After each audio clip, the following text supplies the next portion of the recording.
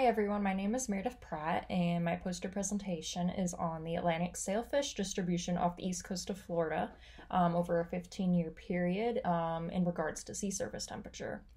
So, sailfish prefer to stay in particular temperature ranges with a medium temperature of 26.4 degrees Celsius, and they like to stay at the surface waters typically. So, increasing sea surface temperatures may affect these animals by impacting their population dynamics, um, migration patterns, breeding habitats, um, and any of their life history patterns, essentially. So, this study was done to determine if the increasing sea surface temperatures would affect sailfish distribution in the Atlantic off the east coast of Florida from 2003 to 2018. So I used sailfish tag data from the Billfish Foundation, who I worked on this project with, as well as NOAA. Um, and this tag data was collected by local fishermen in Florida um, over the 15 year period. I then used GIS mapping to connect a temperature value with each sailfish landed, which gave me my results with as a linear year regression. Um, we found that the average temperature that sailfish were caught over the 15 period was 26.16 degrees Celsius. The most sailfish catches also occurred at 25.2 to 25.5 degrees Celsius.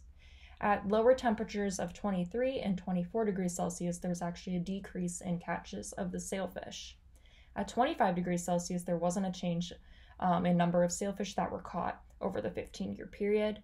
And then at 26 degrees Celsius to 29 degrees Celsius, there's actually an increase in number of sailfish that was caught. At 30 degrees Celsius, there was a constant number of sailfish caught, and at 31 31 degrees Celsius, there's a decrease in number of sailfish over time, most likely due to low fishing effort at these warmer temperatures, since sailfish uh, fishing season is during the cooler months. So essentially, these results indicate that the increasing ocean temperatures can have an impact on distribution and habitat utilization of sailfish. Um, these results provide information for conservation of these highly migratory species, such as sailfish that may be affected by anthropogenically caused temperature changes.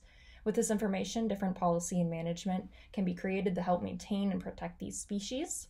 So, the increase in sea surface temperature and increase in catches at these higher temperatures may affect the catch rates of these fish. So, it is important to monitor this so that if overfishing does not occur. Thank you.